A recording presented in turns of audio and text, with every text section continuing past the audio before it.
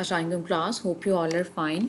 बच्चे हमारा last topic जो हमने अपने ट्रेडिशनल लेक्चर्स में डिस्कस करना था दैट वाज ऑर्डर स्टेटिस्टिक्स हम इससे पहले बहुत सी चीज़ों के कॉन्सेप्ट्स ले चुके हैं डिस्ट्रीब्यूशंस के मोमेंट्स uh, निकालना थ्रू डिफरेंट मेथड्स और फिर हमने ट्रांसफॉर्मेशन का टॉपिक देखा uh, हमने टी uh, का और टी का स्केयर और एफ़ डिस्ट्रीब्यूशन को देखा। और आज हमारा ये लास्ट टॉपिक है दैट इज़ ऑर्डर स्टेटिस्टिक्स बहुत आसान सा टॉपिक है मैथमेटिकल बेस्ड टॉपिक है। थोड़ा सा ब्रीफ सा कॉन्सेप्ट है जो मैं आपको स्टार्ट में दूँगी और उसके बाद कुछ इसकी फोर टू फाइव एग्जांपल्स हैं जो आज हम डिस्कस करेंगे।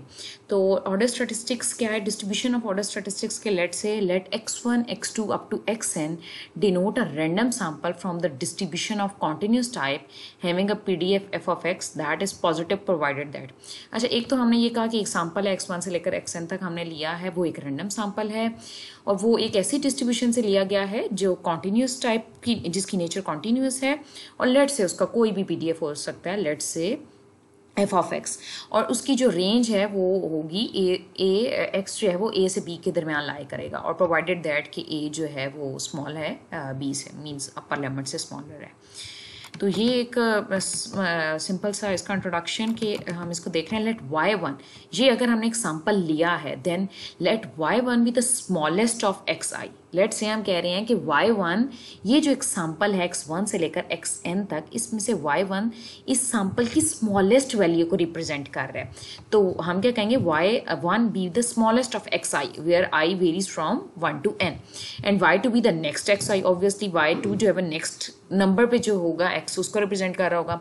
In order of magnitude and so on and Y I be the largest value of X I हम इस तरह से शो कर रहे हैं, इसको ऑर्डर स्टेटिस्टिक्स क्यों बोलते हैं? क्योंकि जब ये रैंडम सैंपल हम बता रहे हैं एक्स वन से लेकर एक्स एन तक तो तब यहाँ पे मैग्नीट्यूड में कोई ऑर्डर नहीं है कि एक्स वन मतलब छोटा है एक्स टू छोटा एक्स एन छोटा बट हम यहाँ पे जो बता रहे हैं कि जब हमने इसको ऑर्डर स्टेटिस्टिक कह दिया means Y one is less than Y two and less than and so on up to Y N हमने एक ऑर्डर दे दिया है इसको, ठीक हो गया?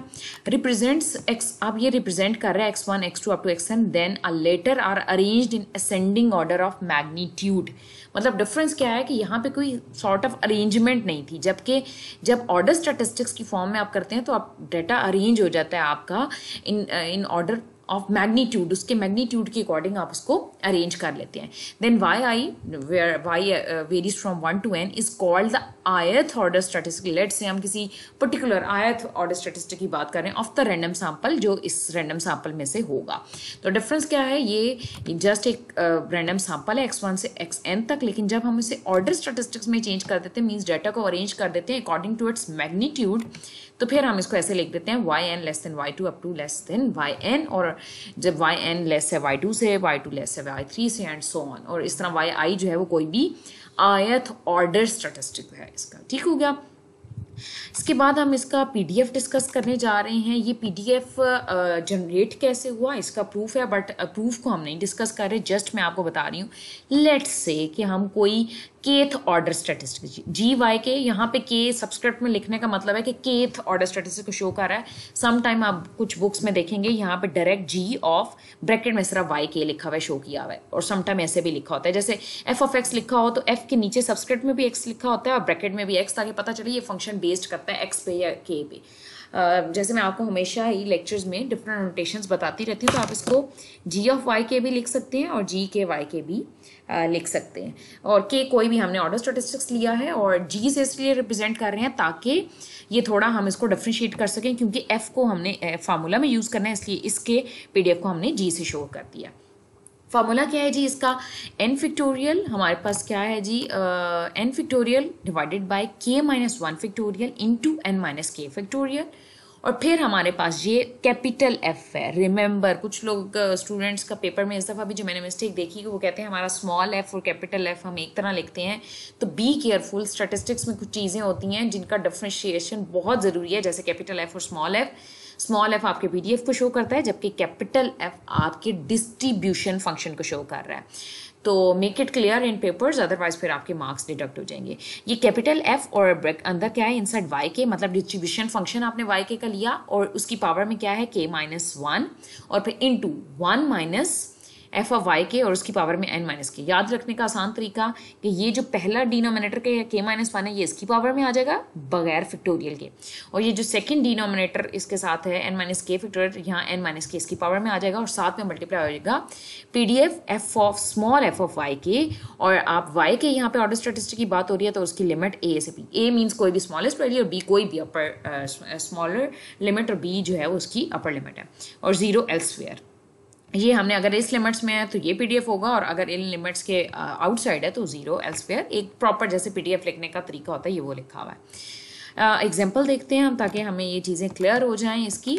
लेट uh, कर रहे हैं हम Y one less than Y two less than Y three Y four denote the order statistic of random sample of size four obviously ये फोर ऑर्डर की हमने चीज़ें शो की हैं। इट मीन्स के सैंपल ही हमारे पास फोर का है और उसको जब हमने अरेंज किया है तो वो Y one Y two Y three Y four में from the distribution having a P D F अब ऑब्वियसली आप इस फार्मूला में देखें तो ये एफ़ ऑफ़ वाई के ये कैपिटल एफ़ ऑफ़ वाई हमें डिस्ट्रीब्यूशन पता होगी तो हम यहाँ पे डी एफ़ यूज़ करेंगे और उसका डिस्ट्रीब्यूशन फ़ंक्शन भी बनाएँगे। तो सबसे पहला काम हमारा क्या होगा कि हमें जो भी पीडीएफ दिया होगा, उसको यूज़ करते हुए हमें डिस्ट्रीब्यूशन फ़ंक्शन बनाना है, ताकि हम उसको इस फार्मूला में पुट करें और हमें order statistic that particular order statistics का हमें पीडीएफ मिल जाए। तो हमें यहाँ पे क्या गिवन है? ये यहाँ पे मिसिंग है, आपको नज़र नहीं आ रहा तो ये स्मॉल एफ़ ऑफ़ एक्स लिखा हुआ है। Small F of X is equal to two X कोई भी हमें फ़ंक्शन दिया गया है, जिसकी रेंज मीन स्मॉलेस्ट ए की वैल्यू ज़ीरो है यहाँ पे, और बी की value one mean smallest limit आपकी ज़ीरो और अपर लिमिट वन है, और ज़ीरो एल्सवेयर है। और वो कह रहा है find the probability probability find करनी है Y three greater than one by two अब पहले तो आप प्रॉबिलिटी फाइंड करने के लिए आपको पता है कि अगर आपके पास इसका पीडीएफ हो, आपके पास वाई थ्री का पीडीएफ नहीं है, आपके पास एफ़ ऑफ़ एक्स का पीडीएफ है। अगर हमें वाई थ्री का पीडीएफ मिल जाए तो हम इस रेंज पे greater than one by two से लेकर वन तक उसको अगर इंटीग्रेट करेंगे, क्योंकि हमें पता है कि ये कॉन्टीन्यूस नेचर है, हमने स्टार्ट में पढ़ा कि ये जितनी भी डिस्ट्रीब्यूशन है कॉन्टीन्यूस नेचर की हैं। अगर हमें ये पता चल जाए कि इसकी डिस्ट्री पी क्या है तो हम ये फाइंड कर सकते हैं। तो यहाँ पे क्वेश्चन में क्लियर कट नहीं बताया, लेकिन हमें ये फाइंड करने के लिए ज़रूरी है कि हमारे पास इसका पहले पीडीएफ हो। और इसका पी लेने के लिए हमें क्या करना है? जी ऑफ़ वाई के की जगह अब हमें जी ऑफ़ वाई थ्री मतलब के हमारे पास यहाँ पे थ्री है। एन कितना है? फोर है।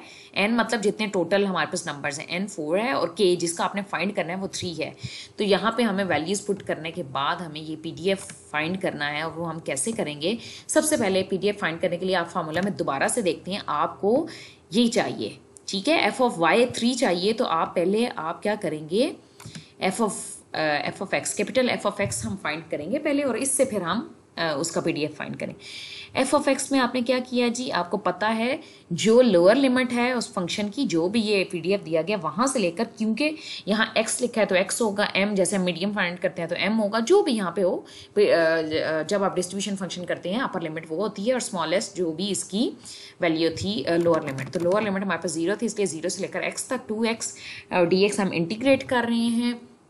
इंटीग्रेट करें, आपको पता है इसकी इंटीग्रेशन टू आउटसाइड ले लें तो एक्स केयर ओवर टू और लिमिट्स आपने पुट की एक्स और ज़ीरो तो एक्स पुट करने से टू टू से कैंसिल एक्स केयर हो जाएगा और ज़ीरो पुट करेंगे तो ज़ीरो आ जाएगा तो एफ़ ऑफ़ एक्स हमारे पास क्या आ गया? एक्स केयर अब the P D F of Y three is here K हमारे पास थ्री है एंड फोर है, आप यही चीज़ सारा कुछ पुट करेंगे इसमें.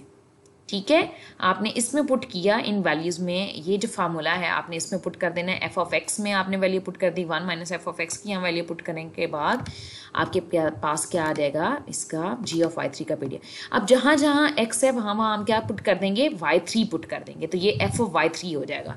ये एक स्टेप अगर यहाँ नहीं किया हुआ, जैसे मैंने डायरेक्ट फार्मूला पे पुट कर दिया आप यहाँ पे कैपिटल एफ़ ऑफ़ यहाँ वाई थ्री एक्स की जगह वाई थ्री पुट करें तो ये वाई थ्री स्क्र हो जाएगा। तो उसको आप बाद में यहाँ यूज़ कर सकते हैं। और small F of Y three क्या हो जाएगा? Small F of Y three अब क्या होगा? ये याद रखना है कि आपने इसमें एफ़ ऑफ़ एक्स में स्मॉल एक्स की जगह स्मॉल एफ़ ऑफ़ एक्स में वाई थ्री पुट करेंगे तो टू वाई थ्री हो जाएगा। तो ये वैल्यूज़ हमने यहाँ से ले ली।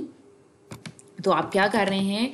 आपने यहाँ पे सारी वैल्यूज़ इस फार्मूला में के हमारे पास थ्री और एन फोर है four factorial over K minus one मतलब थ्री माइनस वन फिक्टोरियल और फिर है हमारे पास N minus K four minus three factorial फिर है डिस्ट्रीब्यूशन फ़ंक्शन का जो पहली ये वाली पावर है वो आएगी तो थ्री माइनस वन टू है, इसलिए स्केयर आ गया, और पहला डिस्ट्रीब्यूशन फ़ंक्शन है तो हमारे पास डिस्ट्रीब्यूशन फ़ंक्शन क्या आएगा, इधर F of Y three Y three का स्केयर आ जाएगा, और फिर है one minus F of Y three तो वो क्या आ जाएगा वन माइनस वाई थ्री का स्केयर और इसकी पावर में फोर माइनस थ्री किया तो वन हो जाएगा और साथ में उसका P D F two of Y three ठीक हो गया? आपने क्या करना है? इस पीडीएफ को जितना सिंप्लीफाई हो सकता है कैंसिलेशन कुछ हो रही हैं, उसको आपने सिंप्लीफाई कर दिया। और आप फर्दर यहाँ पे मैंने सिंप्लीफाई नीचे आके किया, आप इधर ही थोड़ा सा फर्दर सिंप्लीफाई कर सकते हो कि इस टू को यहाँ पे आप जहाँ पे ये आपका क्या हो जाएगा फोर थ्री ज़र ट्वेल्व और ट्वेल्व और टू ज़र ट्वेंटी फोर यहाँ ट्वेंटी फोर और फिर आप यहाँ पे वाई थ्री को ओपन कर सकते हो कि वाई थ्री की पार फोर है, उसको इनसाइड मल्टीप्लाई करें तो ये क्या हो जाएगा, एक वाई थ्री ये भी है, ये वाई थ्री की पार फाइव हो जाएगी तो वाई थ्री इधर मल्टीप्लाई होगा तो वाई थ्री की five power five minus y three की पार सेवन आ जाएगा आपके पास, ये पीडीएफ बनेगा जो ये आप इस स्टेप पे यहाँ कर लीजिएगा, ठीक है? अब आपने वैसे अल्टीमेटली फाइंड क्या करना था? आपने प्रॉबिलिटी फाइंड करनी थी Y of three greater than one by two तो वन बाई टू से लेकर इन्फिनिटी अब इस क्वेश्चन का इन्फिनिटी क्या है? इन्फिनिटी मीन्स जब आप लिखते हैं ना माइनस इन्फिनिटी टू इन्फिनिटी तो माइनस इन्फिनिटी ये तो उन्होंने बता दिया कि उसकी greater than one by one by two से लिमिट स्टार्ट होनी चाहिए। कहाँ तक जाए? जो इस पीडीएफ की अपर लिमिट है। तो इस पीडीएफ के लिए हमें अपर लिमिट या क्या दी हुई है डिस्ट्रीब्यूशन के लिए? वन है तो इसलिए यहाँ इन्फिनिटी वन हो गया। ये स्टेप अगर कंफ्यूजिंग है तो आप डायरेक्ट वन बाय टू से लेकर वन तक भी लिख सकते हैं। मीन्स वन बाय टू से ग्रेटर कहाँ तक आप जाएँगे? जो इस क्वेश्चन में अपर लिमिट दी हुई है और अपर लिमिट है हमारे पास वन ठीक हो गया?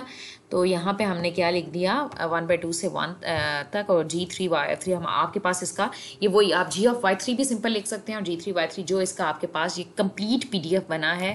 कंप्लीट पीडीएफ हमारे पास कहाँ पे बना है? ये हमने बनाया, ये पुट करना है आपने और ये मैंने बहुत डायरेक्ट स्टेप करके यहाँ पे आंसर आ गया हुआ है। आपने सिंपल इसकी क्या करना है?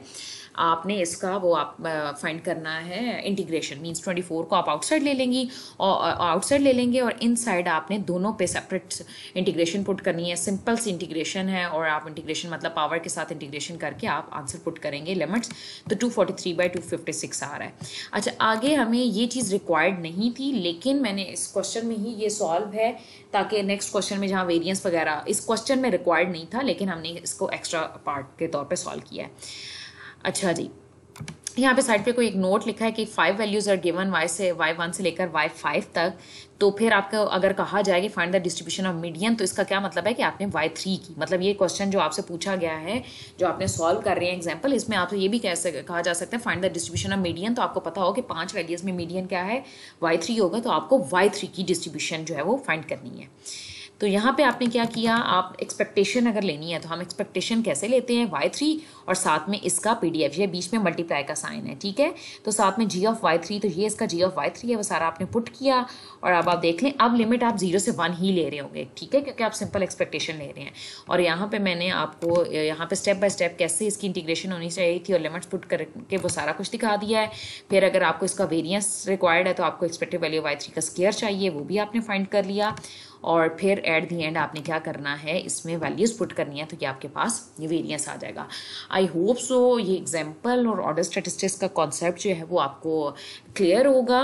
इन हम अपना जो नेक्स्ट लेक्चर है या नेक्स्ट पार्ट आप कह रहे हैं लेक्चर का, उसमें मज़ीद कुछ एग्जांपल्स डिस्कस करेंगे ताकि आपको ऑर्डर स्टेटिस्टिक्स का कॉन्सेप्ट जो है वो और क्लियर हो जाए। That's enough for today thank you बेटा. हाफिज़